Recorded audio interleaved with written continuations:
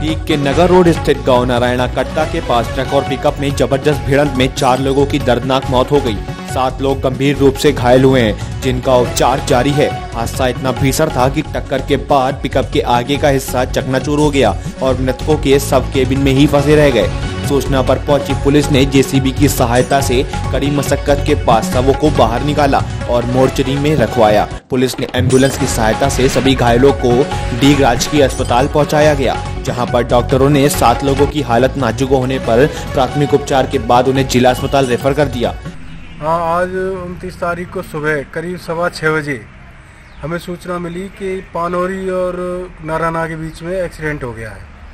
तो तुरंत एक्सीडेंट पर मैं जाब्ता सहित हम रवाना हुए थाने से गाड़ी लेके और एक पिकअप जिसमें सवारी भरी हुई थी।